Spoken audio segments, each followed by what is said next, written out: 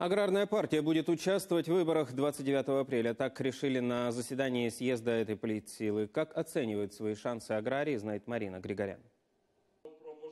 На повестке дня съезда аграриев не только вопросы энергетики, промполитики и развития производства. Главное решение – участие в выборах 29 апреля, которые пройдут в 17 областях страны. Лидер партийцев говорит, у политсилы хорошие шансы. Основание для этого – достижения последних лет. Аграрна партія України чітко на третій позиції протягом останніх двох років у чотирьох хвилях місцевих виборів. Хочу нагадати, що в даних виборах прийняло участь більше 6 мільйонів людей, і аграрна партія має 14% загальнонаціональної електоральної підтримки.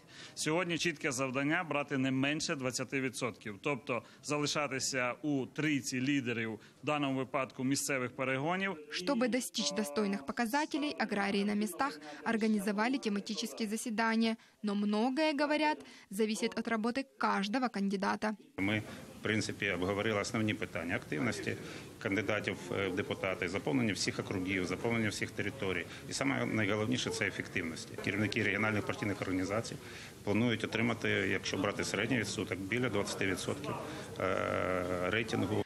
Партийцы признают, одна из главных проблем – приостановка децентрализации. Аграрии уверяют, власть не заинтересована в становлении сильных громад, поэтому решили обратиться к высшему руководству страны с требованием провести реальную децентрализацию. Децентралізація а, в, в розділі адміністративно-територіального устрою вона є заповільна, заповільна, тому і вона затяжна, і тому вона повинна бути приск- прискорена. Верховна Рада не приймає конституційних ніяких змін щодо адміністративного устрою.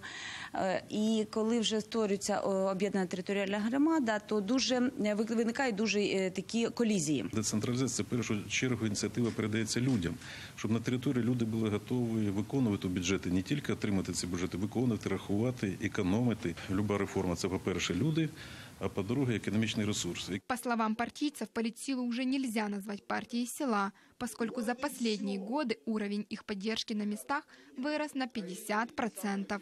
Марина Григорян, Вячеслав Фролов. Подробности телеканала Интер.